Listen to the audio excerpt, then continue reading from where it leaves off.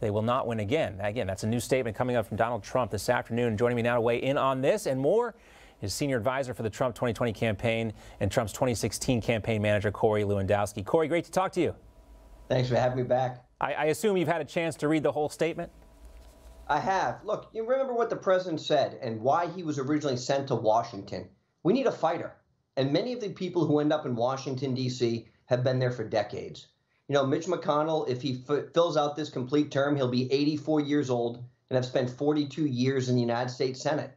I don't think our founding fathers thought that public service in Washington, D.C. was going to be a lifetime appointment. And what the president and his supporters have always said was Washington is fundamentally broken. And the president pointed that out in the four years that he served in Washington, D.C., and transform the city like it's never been done before. And there is a still a strong burning desire for the 75 million people who voted for Donald Trump to see Washington, D.C. transformed.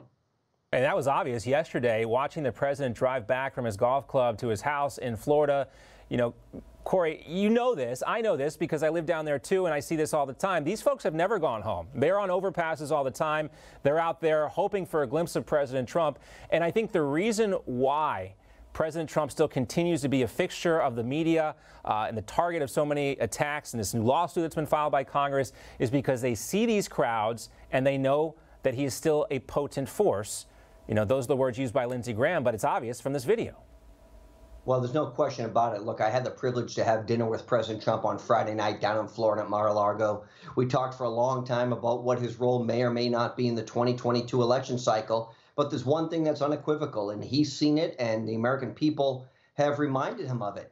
They support an America First agenda, not a Beltway First agenda, not a China First agenda. It's called America First. And you know, that shouldn't be a dirty term. It shouldn't be a term that makes people cringe. It's because we're the greatest country in the world. And what this president and President Trump did while he was in office is he was putting Americans first. And I think that's why you see these big crowds coming out and thanking office and reminding them, reminding him that there is still people out there who want to put America first, who want to stand for the flag and kneel for God and protect the men and women of law enforcement and support our military and bring our troops home from overseas. That's what Donald Trump did in the four years he was in the White House. And these people out there are saying thank you for that.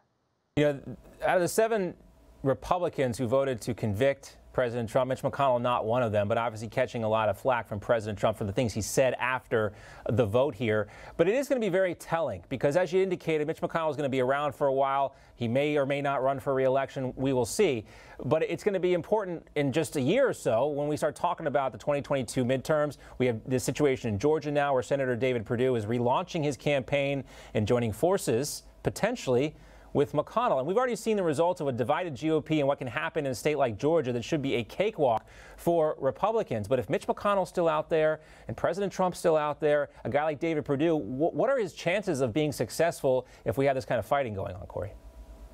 Well, I know Senator Perdue. I know him very well. I think he's an amazing public servant. You know, we need more David Perdues in the U.S. Senate. This is a man who went out, was the chief executive officer of two Fortune 100 companies. Uh, he knows what it's like to create jobs, and he brought that common sense approach to Washington, D.C. He's not a career politician. So I love the fact that David Perdue is going to run for the U.S. Senate again. I think he's somebody that President Trump is going to support in his primary and ultimately support in the state of Georgia. So we, we have that there. And look, the pres- President Trump and I have the exact same objective at the end of the day as Mitch McConnell, which is making sure that Chuck Schumer is not the majority leader of the U.S. Senate and making sure that Nancy Pelosi is not the Speaker of the House. We may have different ways of going about that. And I think you're going to see Donald Trump weighing in in primaries around this country. You'll see other organizations like mine, Fight Back Now America, uh, our super PAC, weighing in to make sure that we're picking the right candidates in some of these congressional districts,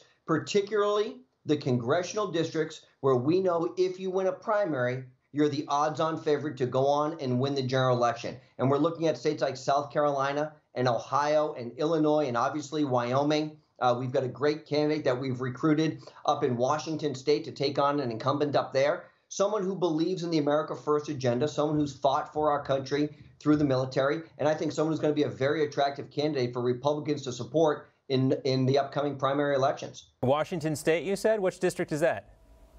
Well, look, we know which district that is. That's the that's the district that's caused a lot of consternation lately with uh, with one particular female member of Congress who's been there for about five terms. And uh, you know, I don't think she's had a serious primary challenge for a long time. And we've recruited a fantastic candidate. It'll be announced in the coming days. But I'll tell you what, that candidate is uh, someone who knows the district well, has served his country, and uh, has a military background, as a family man, and is ready to take his service in a different format down to Washington, D.C. Corey Lewandowski, great to talk to you. Take care. Thank you. Hi, Emma Rechenberg here. If you like this video, there's a whole lot more to see on Newsmax TV. You can watch for free right here on our YouTube live stream and be the first one here each time our experts break down real news. Just hit that subscribe button, ring the bell icon, and stay with us on America's fastest growing cable news channel, Newsmax TV.